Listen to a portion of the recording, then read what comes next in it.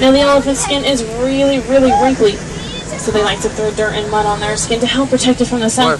Acts as a sunblock.